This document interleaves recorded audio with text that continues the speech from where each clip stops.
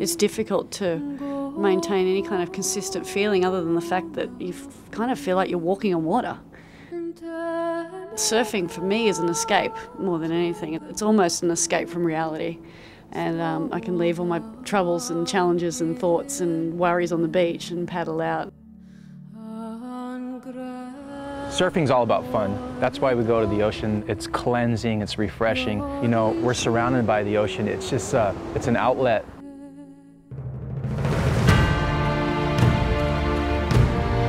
It's easy to go out and get a great ride and feel good about that, you know? That's that's not the hard thing.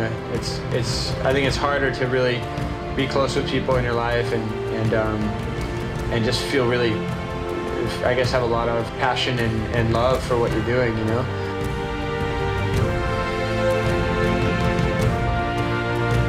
It's not just about winning a contest. You know, for me, it's something bigger than that now in my life. And, and, you know, I've won titles and it's great, but it's also like there's a lot more to life than just winning a world title.